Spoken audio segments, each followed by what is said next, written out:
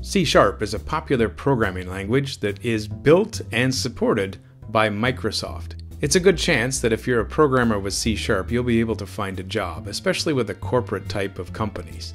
C is the grandfather of most of the languages that we use today. C is the father, and Java, C Sharp, Swift, and others would be considered cousins in the family. C Sharp is directly related to the .NET framework, which is Microsoft's solution for most of its products.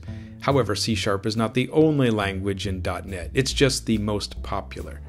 .NET is a way to take a language such as C Sharp and compile it into something like assembly language instructions that then are interpreted on native code. So the idea is to make cross-platform applications. So you write one piece of code, compile it, and then interpret it with a CRL or a common runtime library on any operating system that is popular today.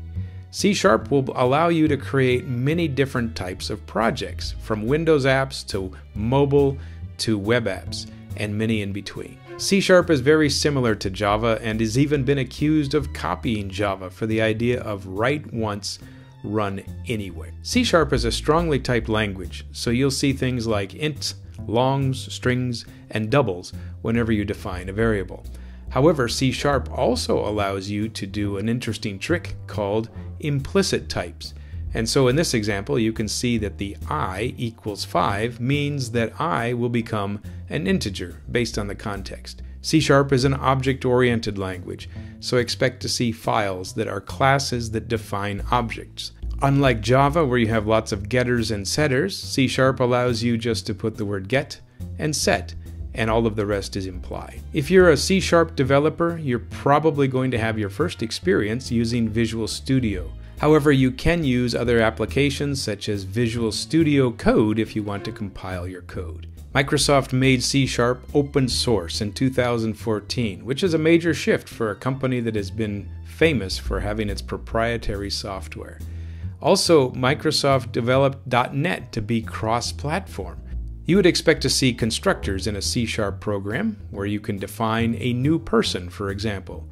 When you create an instance of an object, you can either use those parameters, as you see here on line 13, or you might just have object properties that are specifically named.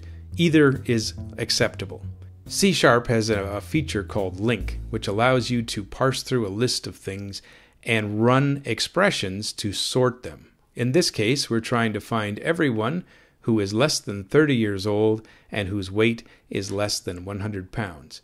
If you're in Java, you would expect to call this streams. If you're a JavaScript programmer, you're going to think of map and filter. C Sharp also allows you to use Lambda expressions so that you can do functional programming in addition to object oriented programming. If your application needs it, you can put in async and await features, which allows you to execute statements out of order, so you don't have to wait around for a slow process. C Sharp is also targeting directly at a domain typically dominated by JavaScript. So Blazor is a solution that allows you to run code on a web browser, but not JavaScript.